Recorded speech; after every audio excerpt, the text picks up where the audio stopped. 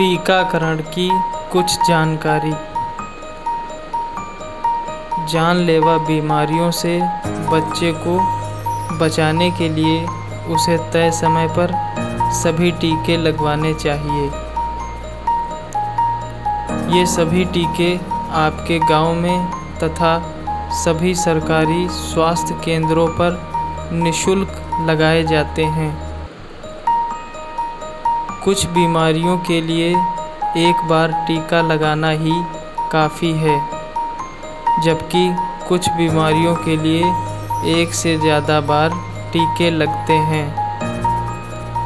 बच्चे को किसी भी जानलेवा बीमारी से पूरी तरह सुरक्षा तभी मिलेगी जब उसे हर बीमारी के सभी टीके लगे हों।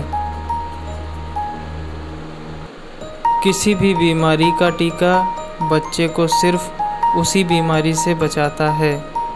जैसे कि पोलियो का टीका बच्चे को सिर्फ़ पोलियो से ही बचाएगा। बच्चे को सभी जानलेवा बीमारियों से बचाने के लिए उन सभी बीमारियों के टीके लगवाना ज़रूरी है।